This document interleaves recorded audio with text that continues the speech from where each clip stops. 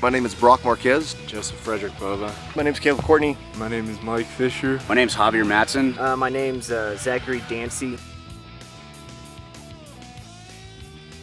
At fire camp we went through uh, S212 uh, chainsaw class. Uh, we also did a wildland um, first aid course.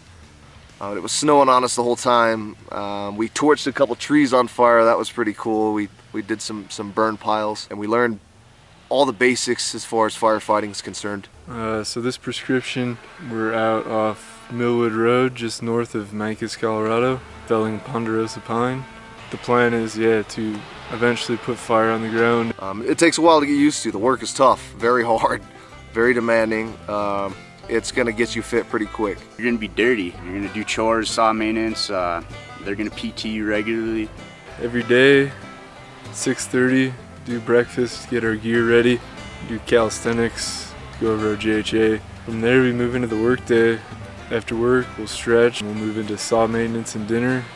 Usually have the night to yourself to sit around the fire and hang out with the crew. And we do that for eight days in a row. Uh, I got out and pretty much immediately came to this program. Um, as far as being a veteran with infantry background, that, that doesn't translate to a lot of jobs. So when I got out of the Marines, I just went straight into college and I was an even worse fit. So um, being outdoors and getting into this kind of line of work, you know, the fresh air, it really helps um, to pick you up. Before I came here, I was pretty lost. I didn't really know what I was going to do. And I needed a sense of purpose. I needed uh, some excitement, you know, and I needed to be around other uh, infantry guys. Coming out here, you get to camp for eight days, and then you have six days off straight. It's perfect. You have a lot of recreational time to do whatever you need to do. Uh, I personally moved here, found a house, and I'm enjoying every bit of it. This program pretty much for me over the few years that I've been in from Arizona, New Mexico, and now in Colorado as a crew leader has been an honor and a privilege to be able to lead and just work alongside other veterans. I love sawing. It's probably one of my favorite things to do as far as work is concerned. So I thought Veteran Fire Corps would be a great fit for me. So far it has. I'd like to keep on going with this program. Um, the Veterans Fire Corps means a lot to me. I've been doing this for a few years now and this definitely takes the cake. I plan on getting into either production logging or um, wildland fire, probably with a shot crew.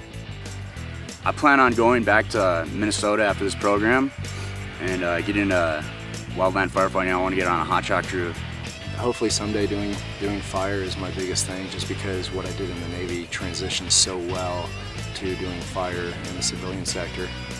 If you're a veteran and uh, you're thinking about coming out to Colorado Fire Camp and uh, doing the SCC program, you're gonna face some challenges, but uh, overall, the knowledge and experience you gain from this program is second to none.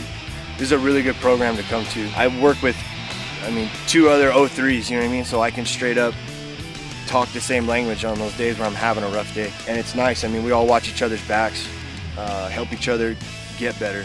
SCC is, is an organization I've found like no other. You know, they care about their employees, they care about the people who are going through the program.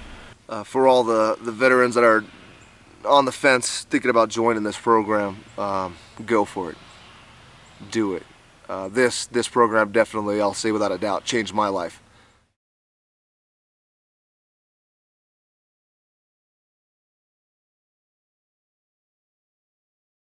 Yes! Yeah. Yes!